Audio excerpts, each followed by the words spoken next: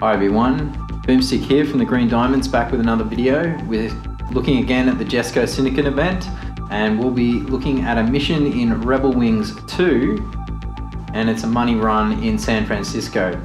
Um, so I thought I'd give you another example of a money run. Um, money runs are really important.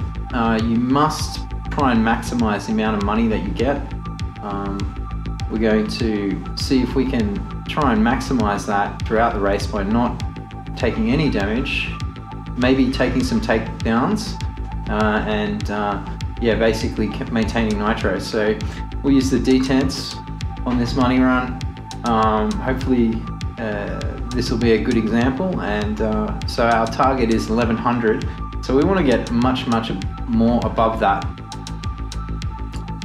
And it's really important because believe it or not, this event is going to be extremely hard. There's going to be a lot of disappointed people out there if they don't pay attention to what they're doing and um, be really careful with these events.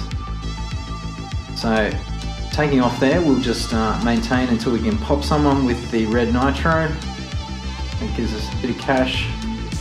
And then we're going to pick up all the nitros here and just do a nice casual drift around here into that nitro just so that we can stay in the center of the road and then you'll get this cutscene which is a bit annoying and just make sure you don't crash out there. Um, if you can destroy one of the police cars then it might be to your advantage. Um, but I'll see if I can get one here now. There we go.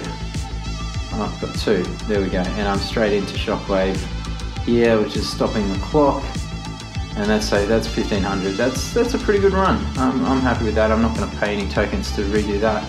Um, but there you go, that's the kind of uh, level of uh, carefulness you need to apply to these money runs. Uh, hopefully you'll get something out of this. Um, they're going to get much harder. I can imagine that uh, the times are going to get a lot tighter and uh, the police will become more aggressive. And now I'm into the blind spotters. So I'll do another blind spotters video after this one. But um, if you like the video, subscribe, like, throw me a comment, and yeah, catch you around.